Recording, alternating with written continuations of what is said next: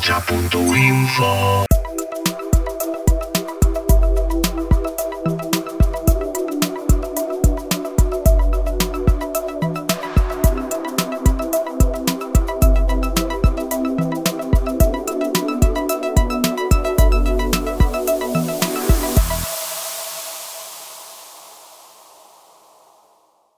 Nafarroren kasuan, hogeita bat mila laureun eta berrogeita sortzi e, preso behartuta, behartuta izan ziren lan egitera, eta ikusten duguna da, ba hori, esklabo laranen atxean, estatu frankista eta haren e, erakundeak e, onuradunak e, izan e, zirela. Enpresak enpresak e, esklabu lanaren e, kontura aberastu ziren, hortaz, e, hiru aldarrikapen zehatza egiten ditugu. Lehenengoa, egia, Nafarroako eta Espainiar gobernuari beraien eraginkizunak e, bere gain hartzea eskatzen e, diegu, beraiek albidiratu zituztelako eskablu lana Nafarroan, eta horrekin e, e, batera esaten dieguna da e, dokumentazioa e, eta ikerketak egin behar dituztela. Bestalde batetik justizia aldarrikatzen dugu eskabu lanak eh, suposatzen duen delituarentzako eta amaitzeko erreparazioa. Ordainsariak